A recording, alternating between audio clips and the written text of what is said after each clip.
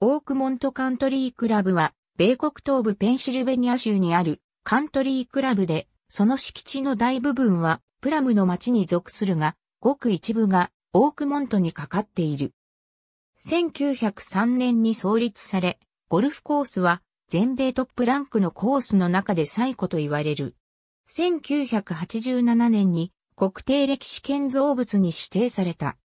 コース内をペンシルベニアターンパイクが横切るため2番から8番ホールが他ホールより分離されている。コースはヘンリー・ファウンズがその生涯で唯一設計したもので、1903年に開場した。リンクスコース建設に適していると考えられた古い農地を150人の作業員と20頭ほどのラバのチームが1年をかけて造成した。アレゲニー川沿いに立地したコースは、ウォーターハザードがなく、また2007年以降は、樹木類もほとんどない。200ほどのバンカーがあり、USGA によるコースレートは77.5で、ゴルフ界では全米で最も難しいコースの一つとされている。巨大で起伏がきつく、極めつけに高速なグリーンを持つ。1940年代後半、ペンシルベニアターンパイク建設のために8番ホールを左に数ヤード動かした以外はすべて建設時のオリジナルのまま保たれている。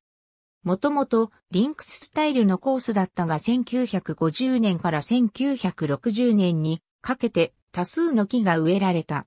これらは1994年の全米オープン後に除去が始まり、2007年の回収時だけで5000から7000本が伐採された。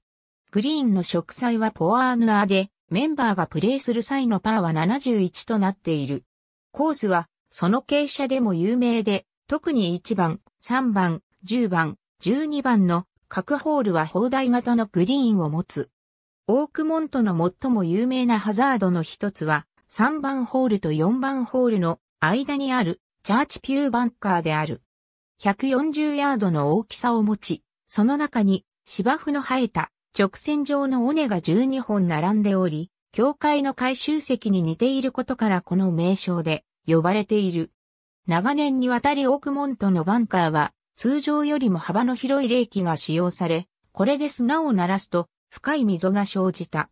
しかし、これが使用されたのは1962年の全米オープンが最後となり1964年にはクラブから姿を消した。ゴルフダイジェスト誌による全米100の偉大なコース特集では毎回継続して5位以内にランクされている。2007年では5位だった。毎年10位以内にランクされることは出版史上でも稀なコースの一つに数えられる。50のタフなコースのランキングでもオークモントは5位。golflink.com では全体で3位にランクされる。